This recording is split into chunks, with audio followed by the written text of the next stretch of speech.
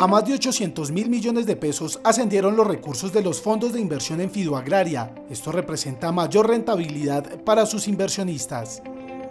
De la gestión que hemos realizado en el último año, pues arrojan unos resultados muy importantes. Comparados eh, con cifras de a febrero del año pasado y respecto al 2016, hemos crecido un 139%. Eso quiere decir que han confiado mucho más en la gestión que venimos realizando a través de nuestros fondos de inversión colectiva, generándole unas rentabilidades importantes a nuestros inversionistas que quienes son los mismos gremios agropecuarios, los mismos productores grandes, medianos y pequeños.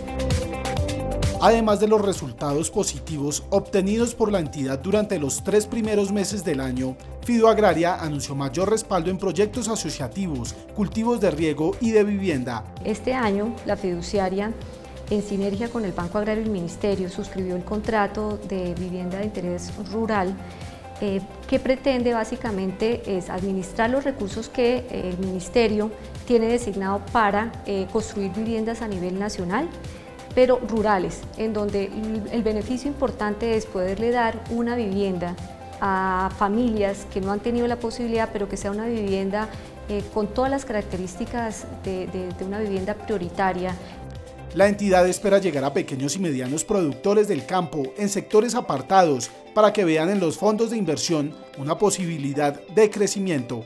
Esto le va a permitir a ellos que entiendan que pueden educar a sus hijos a través de un ahorro programado que tiene además propósito de inversión para que el día de mañana puedan darle un estudio adecuado a sus hijos. Incluso también pueden eh, cambiar de casa, eh, comprar hectáreas adicionales, esto a través de, este, de este fondo de inversión colectiva para que ellos puedan proyectarse al futuro. Estas inversiones en la actualidad las pueden realizar los pequeños campesinos con bajos montos. Los fondos de inversión colectiva son una alternativa más del mercado financiero.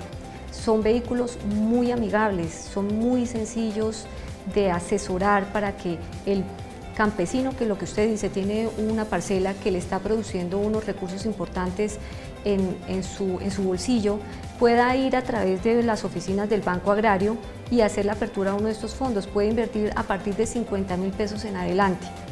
El llamado a los agricultores de pequeñas parcelas y de grandes cultivos es buscar mecanismos de inversión que les permitan lograr una mayor seguridad financiera.